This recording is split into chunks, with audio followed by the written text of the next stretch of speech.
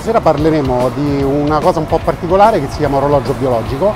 È un orologio che gestisce i bioritmi all'interno del nostro corpo e di come quello che abbiamo scoperto è come poter utilizzare questo orologio per identificare dei nuove cure per curare malattie, soprattutto questa sera si parlerà di tumore e di come quindi possiamo identificare dei nuovi medicinali proprio partendo dalle attuali conoscenze dell'orologio biologico e di come questo viene modificato nelle cellule del tumore. Le cellule del nostro corpo hanno un orologio per temporizzare tutte le loro attività e quindi devono fare le loro attività in maniera ben coordinata e anche coordinata tra di loro. Le cellule tumorali quello che fanno è modificano questo orologio perché in realtà non vogliono coordinarsi col nostro corpo perché il loro unico scopo è quello di crescere e di viversi e quindi lo modificano e modificandolo hanno un vantaggio, hanno il vantaggio di non essere più attaccate a un controllo. Quello che noi abbiamo scoperto è che possiamo in qualche modo andare con delle molecole in qualche modo a rompere gli ingranaggi dell'orologio delle cellule tumori e a quel punto renderle più deboli, cioè farle di nuovo capire che è il momento di morire. Pint Science nasce a Londra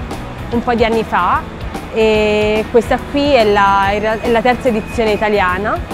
e, mm, e, andiamo praticamente in contemporanea con 11 paesi nel mondo e ben 18 città italiane. Questa sera per tre sere la scienza entrerà nei pub cercando di comunicare a tutti, anche non addetti ai lavori,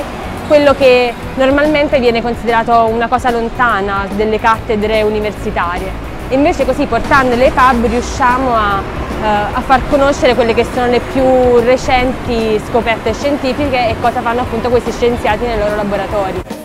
La scienza e la birra, nel senso mi sembra un coniglio favoloso, si, la birra si addice benissimo alla scienza, diciamola così.